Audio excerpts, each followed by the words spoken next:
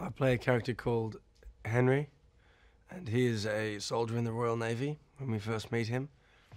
Um, we see him at the beginning of the film trying to alert his crew and his captain of an oncoming danger um, that is believed in certain mythological circles uh, to be true. However, these guys don't believe him, and he is basically stripped from his credentials and held in prison. I'd never worked with a, a duo director pair um, before, and so it was good to see the the advantages that that brings to a set, especially um, with a film the size of Pirates and the scope and the style of filmmaking. It really um, it really uh, adds to the experience to have two guys to bounce off. They're both very hands on. They they both loved shooting and ha- had a great energy and a great exciting vibe to them. Um, as well as knowing inside out the story we were telling and and the styles that they wanted to implement into this new fresh franchise. Yeah, working with Kaya was fun. I mean, we had um, a lot of fun, silly moments together. Um, a, a couple of serious scenes trying to figure out where to go and what to do. Um, but a lot of the times we'd be lying on a studio floor uh, pretending to be at the bottom of the ocean, um, getting sprayed with hoses. Uh, so there was a lot of um, funny, ridiculous moments in there with Kaya.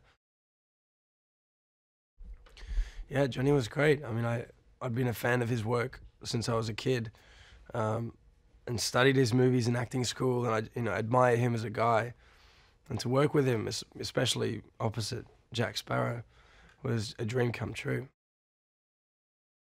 Well, Javier is surprisingly the exact opposite of his character.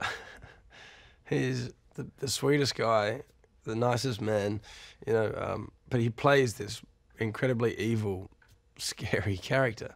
Um, so to see those two differences on action and cut is quite extraordinary. The supernatural and, and mythological elements have been something that um, the Pirates franchise is carried right through the first one. So um, it wouldn't be a Pirates movie without it, I think. Uh, but in this one, we see uh, a bunch of them coming together. So yeah, it is it is pretty cool. Shooting the film was so exciting. There was something huge happening every day, so it had an energy and a force behind it that I never really experienced before. So did you like that video? Do you think you know everything there is to know about movies? Well, today I have for you some interesting movie facts. 1941, You're in the Army Now features the longest Hollywood kiss on camera, clocking in at 3 minutes and 3 seconds. Chocolate syrup was used as the blood in the movie Psycho. Hmm. Hitchcock himself thought the texture really helped to make it more realistic.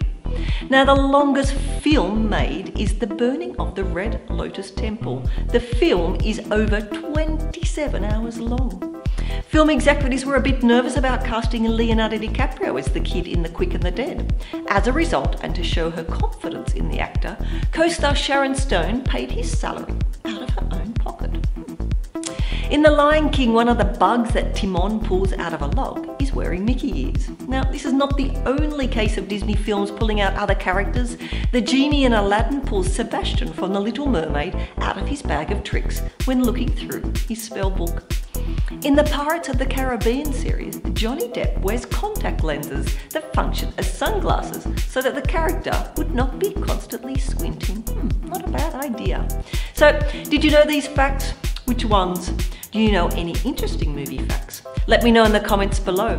I'm Lisa, and I'll see you next time.